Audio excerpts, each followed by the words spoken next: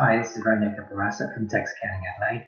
And I know in uh, COVID 19 times, it's really hard to know uh, what, what uh, economic support packages are out there uh, to help businesses who are obviously suffering in these times.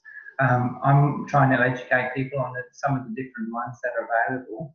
This one here in particular is on uh, the cash flow boost payments. Um, so the gist of this one is it's this one was pretty much automatically done and it was going to be automatically done by your um, BAS lodgement.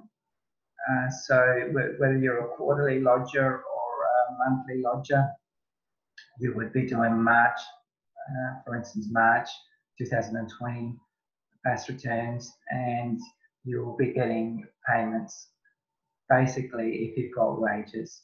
So the payments were up to 100,000 um, with a minimum total payment of 20,000 provided to small, uh, small, small, medium enterprises and non-for-profits that employ workers.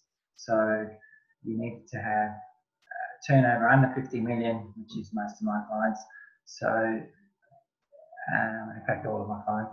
Um, and yeah, you, you, need to have um, wages and uh, basically if you're registered for wages as at uh, uh, early in March, um, then you would automatically qualify for this cash boost payment.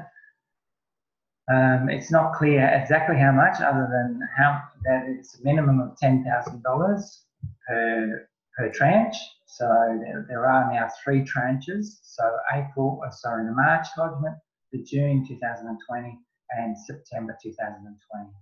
So minimum of 10,000 per tranche uh, and up to a maximum of 50,000 per tranche.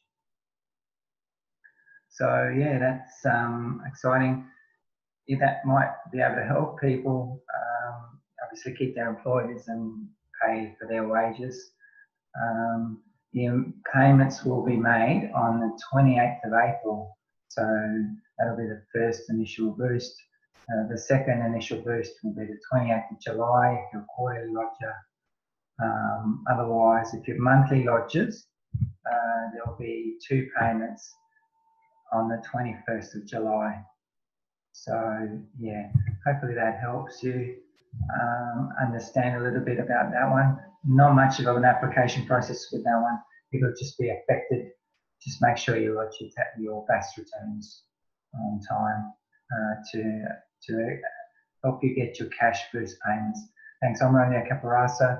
I'll also be doing uh, job uh, keeper payment explanation, which is a hot topic, and also the state government uh, $10,000 grant for businesses in the COVID crisis.